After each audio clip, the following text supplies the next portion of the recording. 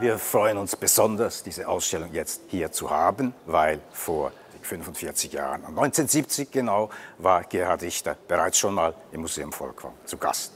Es war seine erste Museumsausstellung überhaupt und es war nicht eine Ausstellung von Gemälden, sondern es war eben die Edition, die gezeigt wurde.